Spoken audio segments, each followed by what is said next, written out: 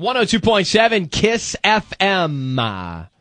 Remember the, the big speech that uh, President Bush gave Yeah. at the convention?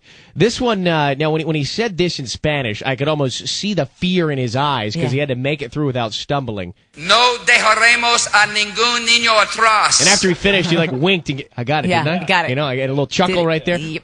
You know, they rehearse those speeches Uh-huh. beforehand, and I have found the rehearsal tape of President Bush's speech from the convention. Uh-huh. And I, I'm going to put it into the VCR here. Yeah. Just put it right in there. Just pop it in there, Pop Ryan. it in, and uh, let, us play the first track. Now he was he was trying to figure out what he was going to use in the speech. Oh, Here's the first one. Dejaremos los Estados Unidos con mucha seguridad. Now, what, what is that one, Martin? What's that mean? He said that he's that we shall leave the United States with a lot of safety and security.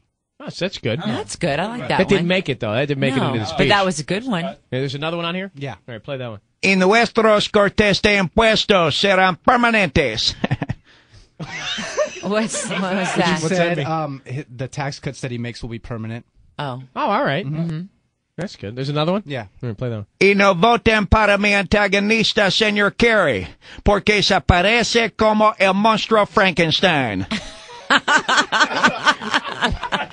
Wait, uh, hold on. Let me rewind the tape. Can you play that? Can you play that back one more time? Y no voten para mi antagonista, señor Kerry, porque se parece como el monstruo Frankenstein. What, what's he saying there? He says, "Don't vote for my opponent, Mr. Kerry, because he looks like Frankenstein."